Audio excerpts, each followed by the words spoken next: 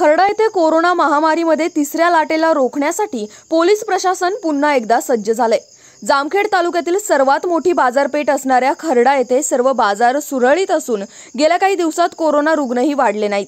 त्यामुळे खर्डा येथे पोलिसांनी बस स्टँड परिसरात विनामास्क फिरणाऱ्या आठ लोकांवर कारवाई करत रोख स्वरूपात तब्बल चार हजार रुपये दंड वसूल केलाय. यावेळी पोलीस निरीक्षक बडे यांच्या मार्गदर्शनाखाली police constable Sambhaji Shende Sanjay Jaybhay Raosaheb Nagargoje home guard Dhage व लोखंडे आदींच्या पथकाने ही कारवाई केली आहे. बातमी प्रतिनिधी गणेश जव्हेरी मायभूमी न्यूज जामखेड. मायभूमी न्यूज आवाज जनमनाचा या चॅनलला सबस्क्राईब करा आणि बेल आयकॉनवर क्लिक करा.